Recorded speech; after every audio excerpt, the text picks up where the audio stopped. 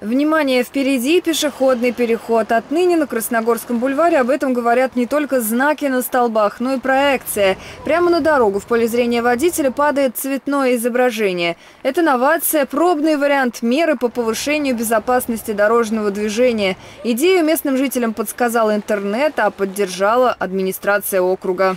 Пешеходный переход вот э, от Макдональдса к Снежкому Э, является наиболее опасным, потому что здесь э, очень большой поток идет от МЦД к нашим домам. И было принято решение вместе с администрацией Красногорска обезопасить этот переход вот, путем применения проекционных пешеходных переходов да, и знаков дорожных. Ну, соответственно, администрация нас поддержала, мы это дело сделали. Если будет положительный опыт, это оценят и водители, и надзорные органы ГИБДД, то мы получим уникальное средство, а, так скажем, ночного проецирования дорожных знаков. То есть если у нас в непогоду или в темноту а, проекция пешеходной дорожки, зебры, она поможет пешеходам быть видимой, потому как это луч световой и будет выделять перекресток очень ярко.